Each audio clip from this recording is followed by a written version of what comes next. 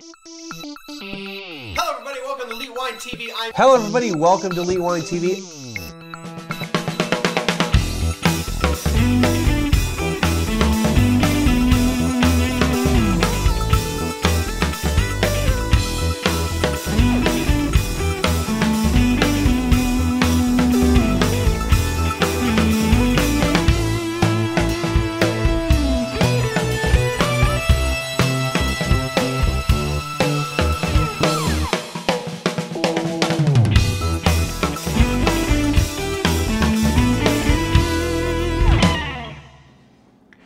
Morning, everybody. Welcome to Elite Wine TV. I'm your host, Mark Fusco, here for another edition show. I just want to have a shout out to all the ships to sea, boots on the ground, feet in the air, subs in the water, and everybody else out there. Um, this is episode 333, recorded on Thursday, May 7th, 2015. Yeah, I had a little fun with the intro there. And if you don't know the reference, well, then you don't know the reference. All right, so um, anyway, so 333 we're having fun today. So um, I chose three different wines to do here, and uh, had a phone call while we were doing that. So chose three different wines, and the theme, the overriding theme here is the number three. Um, one of these wines I'm sure is going to be really good. The other two I don't know. So um, we're gonna have a little bit of fun here in the morning. All right, first wine. Let's just get started here. Uh, it is the Menage a Trois Chardonnay 2013 California. California. Bought this yesterday over at Total Wine and More. You know what I like Total Wine? Besides, I got a lot of wine. As I can look up the wine and I can see, it, I get great information. They have a great website for just regular just information about wine. But I can see if it carry it at the store that I want to go to. San Antonio and Texas retailers, get on the ball. You need to have better infrastructure online. Um, I know it's going to cost a lot of money. You get the inventory system set up initially, but once you got it set up, I'm telling you. Anyway, and I love my friends at Specs, okay, but um, you know, I like to be able to look something up and then go get it. Anyway, so uh, Menage a Trois. So we've done Menage a Trois before. We did the Cabernet. I can't remember. We did the Cabernet or, or Pinot Noir. No, Cabernet. Something like that. So we're going to do the Chardonnay today. And uh, you know what? I want to say maybe I have done a Chardonnay already. Which if it is, this will be the first time I've repeated a wine on a different vintage. Anyway, so I bought it for uh, $8.99 at Total Wine. And um, California winemaker, they make a lot of wine, so a lot of value wine. Um, I'm looking it up on the site. She's just gonna there. I shouldn't have any red wine in the needle because I, you know, did the little before I started recording, but just want to make sure. Oh, it's kind of cool looking. You can see the little gas going through.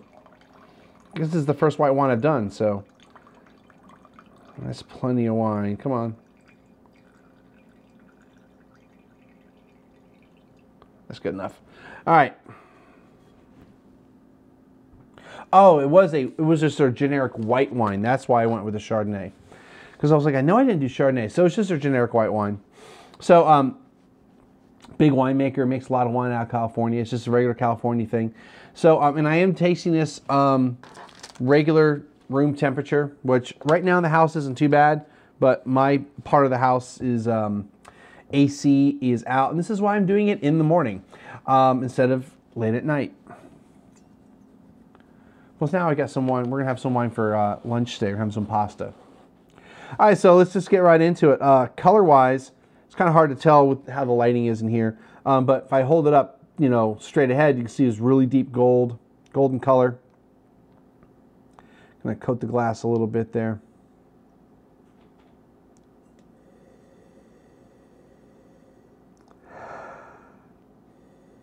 I did start the audio recording. That would suck if I hadn't. Yeah, I did. Okay.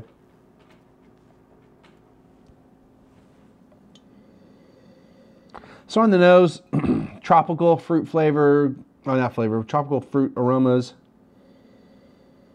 Really get kind of like that mango, guava, not pineapple necessarily. Maybe, now that I said it, now that I put in my head about pineapple. Cantaloupe, that type of stuff on the nose. Maybe golden apple. Maybe.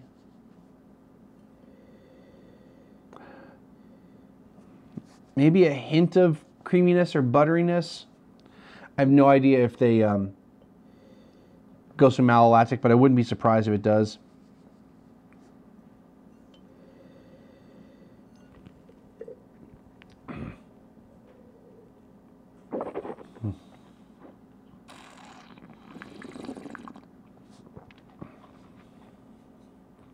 I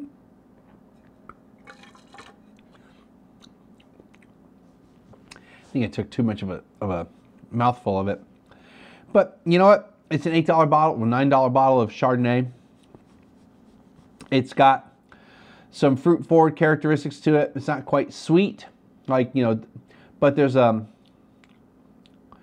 there's almost like a candy type of flavor to it. Like fruit candy type of flavor to it.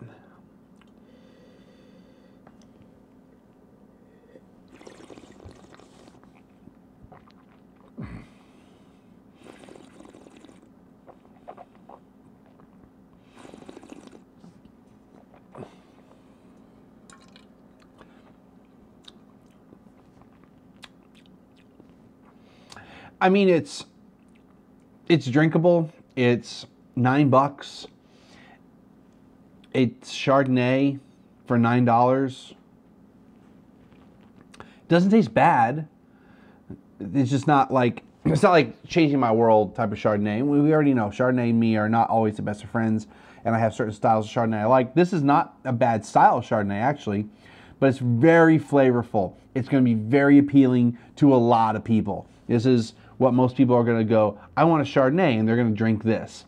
Okay, chill it, it's going to taste even better. So, the wine doesn't suck. Let's put it that way. All right, it's it's um, for for a nine dollar Chardonnay, it's, it's it's correct quality. That's the best way to put it. I wouldn't say it's great quality. It's good. It's good quality. I mean, the quality's not. It's actually balanced. It's not too. It's not too of too much of anything. Um, it's tasty.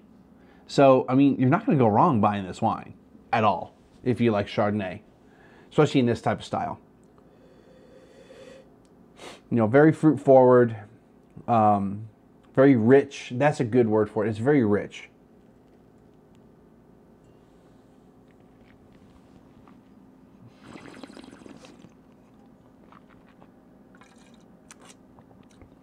but it's not the buttery popcorn. Okay, it's it's more fruit forward than than buttery. So while there's probably some oak treatment and there's probably some malolactic going on, it may not be 100%, or they may have controlled some of it. now they say tropical flavors, bright, crisp. Yeah, I would say bright and crisp is, is a good bright. I think maybe not as crisp because I don't feel it has as much acid to it, but it's definitely bright. I would totally agree with it. I mean, it's it's a reasonable. Of, it's a, it's a reasonably priced bottle of wine. It's going to taste good. You're going to like it, especially when you get to the summer months. You're not going to do wrong with it for you know a bottle of Chardonnay that's nine bucks. It's also going to hold up to about any other nine dollar bottle Chardonnay. Um, there's going to be slight flavor differences, but if you like that flavor profile, especially the tropical fruits, um, I actually enjoy it. I really like it. I, I wouldn't say I, I like it. Like I would, I will probably finish drinking this wine with no problem. Whereas sometimes I, I finish wines only for the point of trying the wine and trying to ingrain that flavor profile in my head. Um, it's rare that I pour out wine, but I have poured out wine that I just didn't like, um, but I'm not going to drink. Um, this is wine that I will finish. I will finish it. It's not bad. Nine bucks. It's it's reasonable. All right, let's move on to. Let's see if there's. Oh yeah, Menage a Trois. Your your your website, at least for me, sucks. I'm using Safari and it says confirm you're 21 years of age. I keep clicking the confirm button, and it never goes away. So um, so let's talk about. Uh, uh, I have some information about the wine.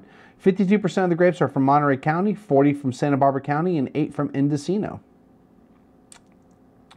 They use French and American oak, so and partial malo. Ding ding ding ding ding ding ding ding. You are correct, sir.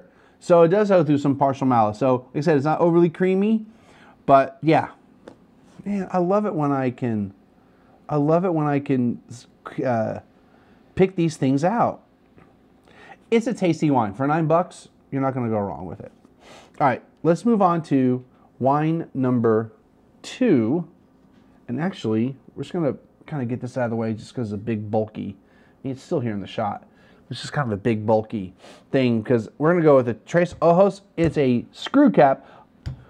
And I just bought this yesterday, so we know the screw cap can't have like un, you know come undone.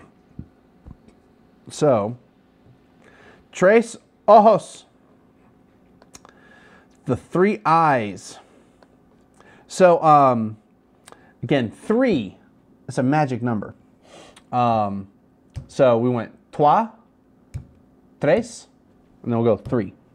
Now that was on purpose, you know, having three different languages, like, you know, trying to figure out, it had to have, a, had to have some type of three associated with it in the name, or with the vineyard, or with the winery. But since, so like this is, the winery's name is Tres Ojos, all right, just like Menage a Trois.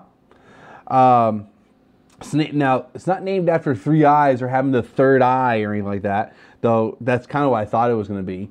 So, kind of like, woo, second half of the show. Um, so, it's named after a local bridge in the city of uh, Catalonia or Calatayud.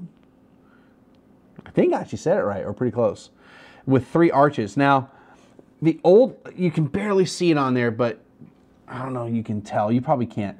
But the old label or a label that they have, you can really see the bridge and the three arches. This one you can kind of, this picture you actually see all the entire bridge and the all three arches, whereas the other label, they just have a label, you see a, a bridge partially, and you see one full arch and you see partially of the other two. But um, anyway, so three arches. The wine has red brick, has a brick red color and Oh, the wine. Never mind. I thought we were talking about the, the, the bridge.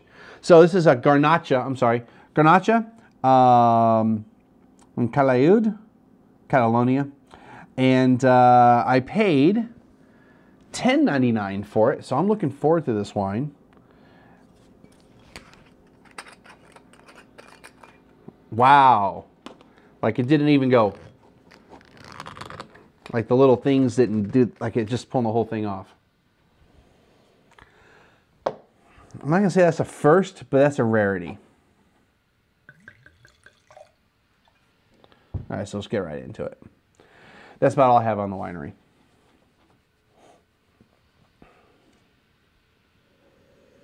Well, actually, let's, let's dump, though going from red to, from white to red isn't usually too bad. Get a little, little coat of the glass. Been trying to remember to do that.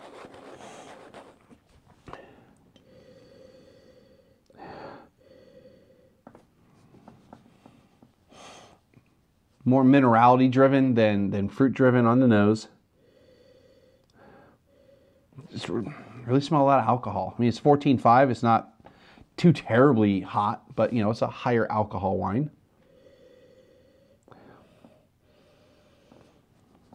Let's try, let's try to, well, one, let's do this. Let's see if I can, a lot of brambling, brambliness. So let's see. Maybe some red fruit.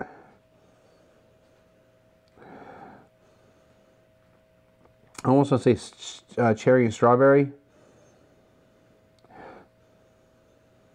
Yeah, like strawberry. Sometimes I, have noticed if I hold my nose really higher up, like if you're kind of smelling a, um, a spirit, though I learned at Garrison Brothers, just what you want to do actually is put your nose here, open your mouth, and breathe in through your mouth. That way you're not like sucking everything up through your nose, but you're letting the you're letting the, the alcohol get into your nose and you're allowing you're allowing the air flow. So I guess a gentler way of smelling. So let's try that.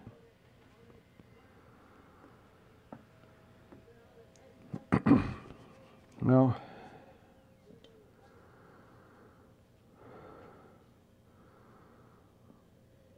I would say it was almost something like licorice and mint to that. Kind of minty.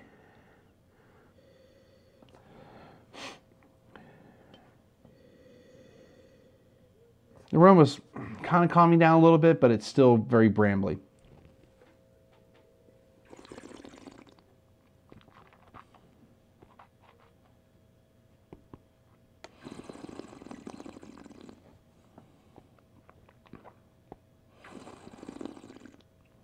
Hmm.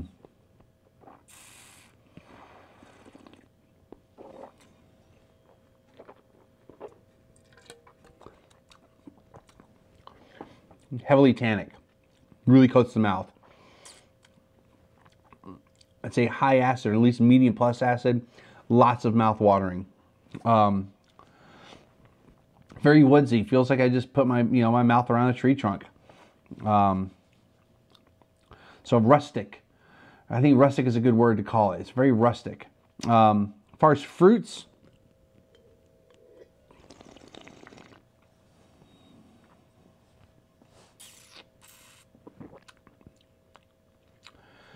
I don't really get a lot of fruit. I get a lot of wood, some spices, um, tobacco, leather. Now, now I think these are starting to come through. This is very earthy. There's not really a lot of fruit that I'm getting through. Now let's see what it says. Um, red raspberry, spice and white pepper. Spice and white pepper, absolutely white pepper.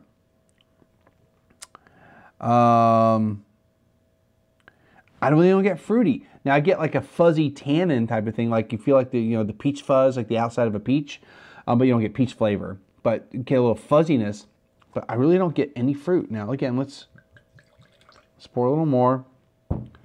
Let's just see if um, I'm going crazy. It feels like it's opening up a little bit more. It's not as brambly.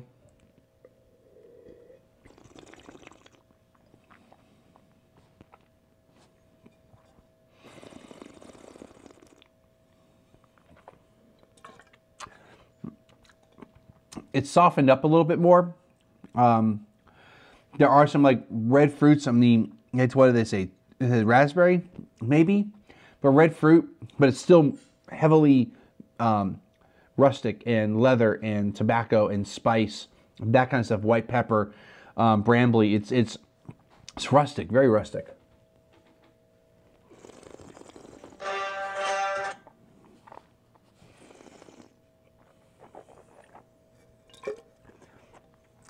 Whoops. It's an $11 bottle of Garnacha um, from Spain.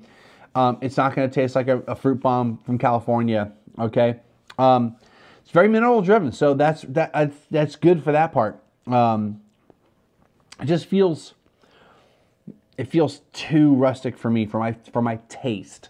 I know some people that would love this wine. So eleven dollars. This style wine you like, you're not going to go wrong with it. Um, it's going to be a good bottle for you. It's it's uh, it's inexpensive. It's not an expensive bottle of wine. Um, I think I think if it let it breathe a little more. Um, I know it seems kind of silly to say you need to let an $11 bottle of wine breathe and, and let it soften, let the tannin soften a little bit, de- decant it. I totally see you doing that, or just pour it in your glass and let it sit out for like 15, 20 minutes and let it, you know, let it kind of soften up a bit. But I think it needs a little bit of air. I think it needs I think it needs a, I think it needs a little time out outside the bottle to kind of evolve a little bit. And that's that's what I'm getting out of it. It's just it's really in your face right now, and um, it needs food for sure. But yeah, I mean, there's some good components to that. That leather and that tar, not tar, but uh, tobacco and and leather. Um, something else too right now, but just a little bit more. I mean, what it is is this wine is opening up and it's evolving and it's getting better over time. Like even right now, the the the nose is is feeling really soft. I'm getting now I'm starting to get more fruit to it.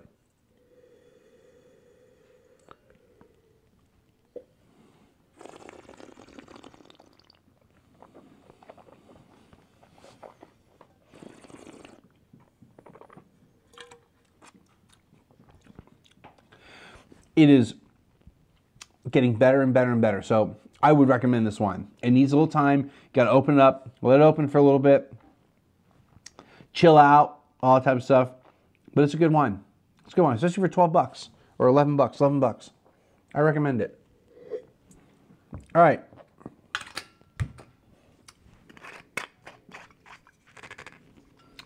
Now let's see if I can. No, it's not going to. It's all right. No big deal. Let's move on to wine number three. All right, wine number three. Now, I need to a little.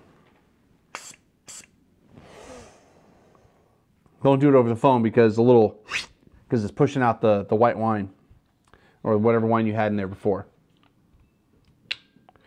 You know, I figured out that a capsule could last me almost half a year if all I ever did was just use it on review wine, and then once I decide I want to drink the wine, drink the whole bottle after that, and pop the cork. It could almost last me half a year. Anyway, so third wine. This is the Ridge uh, Vineyards Three Valleys, uh, 2011. Now I paid $23.99 for it, and uh, at what you call it at um, Total Wine and More. Now, this is a combination of, um, they said this is their only non single vineyard wine that they make. Now, Ridge has been around for quite a while. I'm going to go through the history real quick here.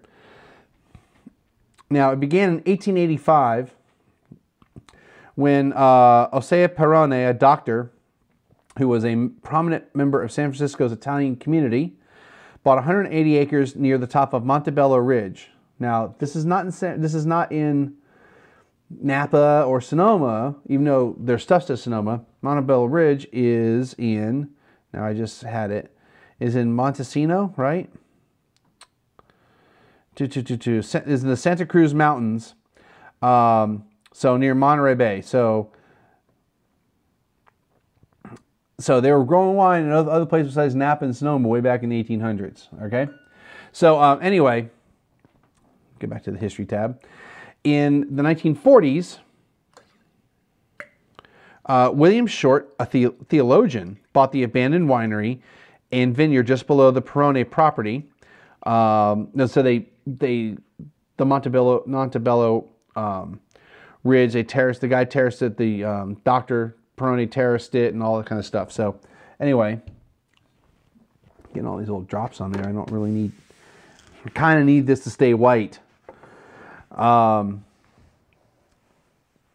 so anyway, he bought he bought the uh, the property, and um, then from those vines, now called the Middle Vineyard, uh, owners Dave Bennion and his three partners, all Stanford Research Institute engineers, made a quarter barrel of a estate cab. That Montebello cab was among California's finest wines of the era. Um, so they they uh, the wines they made from the vines in 61 and 60 convinced the, the partners to rebond the winery in time for the 62 vintage. 64 they made their first Zinfandel. Um, farther down the ridge, then uh, then they went to Geyserville in 66 to make some Zinfandel. And the founding families reclaimed the Montebello terraces, increasing the vineyard size to, from 15 to 45 acres. Working on weekends, they made wines of regional character and unprecedented intensity. In 68, production increased to just under 3,000 cases per year. And in 69, Paul Draper joined the partnership. Um,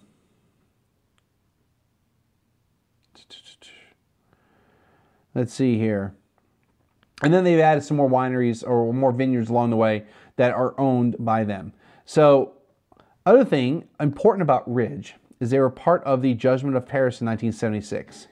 So, um, on the red wine side, they were number one, two, three, four. They were fifth, ranked fifth, and then um, they redid this in 2006, and Ridge came out on top. Um, same wine, same vintage, 1971 vintage for them. Um, they use the same vintages and everything. So they're they're a winery that's that's got some, you know, a lot of history, a lot of great winemaking behind them. So it's it's definitely not you know, uh, it's, it's an old it's an old winery. All right, so um, and they've got vineyards all over the place. So let's talk about the three valleys themselves. Um, so I'll just read the uh, the explanation that's that's on the on the back label. Uh, the only multi vineyard wine comes from three of the finest appellations in Sonoma County. As with our single vineyard wines, the grapes are harvested by hand, fermented on native yeasts, and aged in small cooperage. Cool summer weather delayed ripening. Uh, we began so in Sonoma, they also had a cool vintage. We began harvesting in mid September, finishing in late October. We chose the most accessible lots from eight ranches for, two, for the 2011. Um, so, anyway, now it says it's on the front label, which I love this about Ridge. It tells you exactly what it is. Um, so it's 65% Zinfandel, 20% Petite Sirah, 9% Carignan, 3% Mataro, which is also known as Mourvedre, uh, 2% Alicante Bouschet, and 1% Grenache. And it's just a Sonoma County AVA because it comes from all over Sonoma.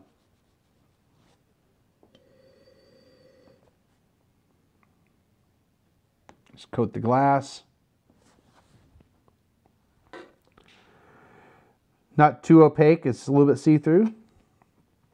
Good color, like real, it's almost the same red color as, as the, uh, the tablecloth. Just a nice deep red color. Not deep, but just nice full red color.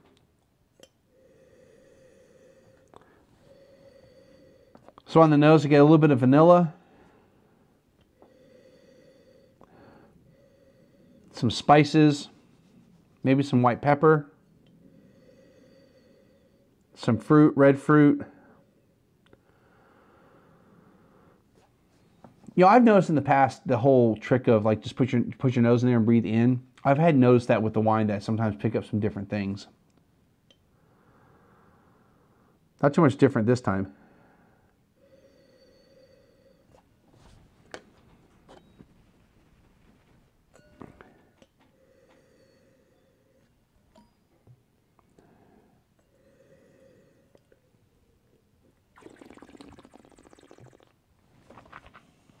Hmm.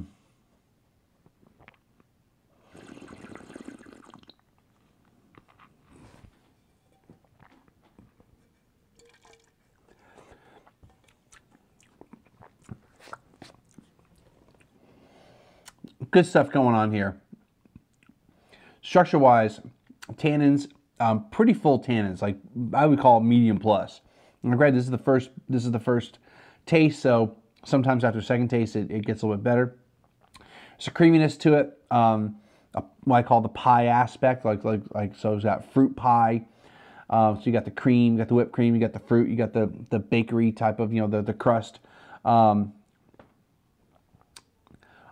I, I, would call it like a combination of cherry and raspberry. Um, I don't think I really get anything strawberry wise, and um, you know other other red fruits. I don't really think I would I would characterize that. There's a bit of fuzziness to it.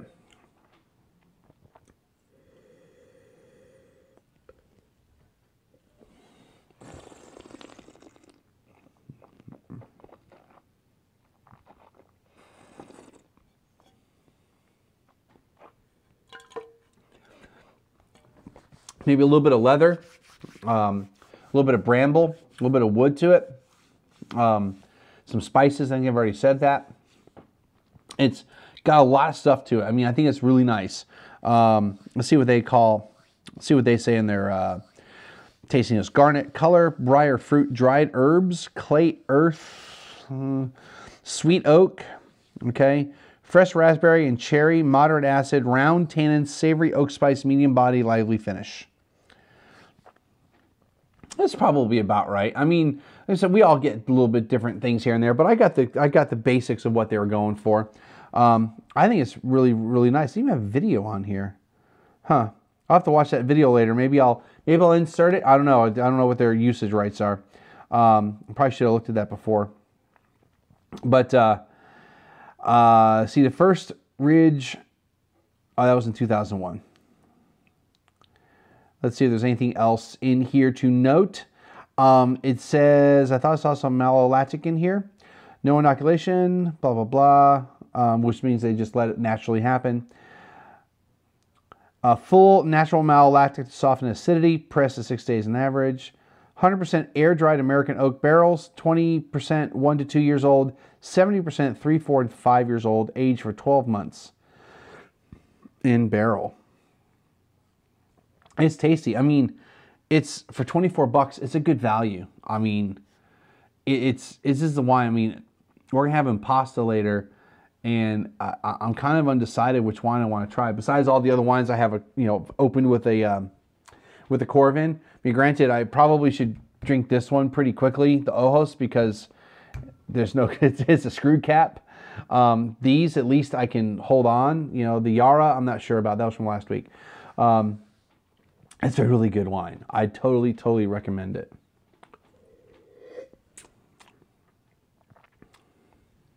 Anyway, uh, I hope you uh, enjoyed watching this episode with three different wines with um, episode 333. Um, it is a magic number, and uh, you'll see it just like, you know, it's like that movie 23. You see the, you, the guy saw 23 everywhere. You know it's 33 and 3. Well, 3 is really easy, but you know it's 33 a lot everywhere too. Um, so anyway, uh, we got 33 in the name of the. I just thought about I got two threes in the name of my, my thing here. Um, even though I don't say 133.7, 1337 wine. So um, as always, click the links above to friend me up. Click the links below to uh, find out more information. You can uh, hit the uh, PayPal button, send me a few ducats. Um, there was a little jingle I was going to try to sing, but that's not going to work out. I'll mess it up. Anyway, um, so if you want to donate to the best wine podcast in the universe, click that button. And uh, thank you for stopping by.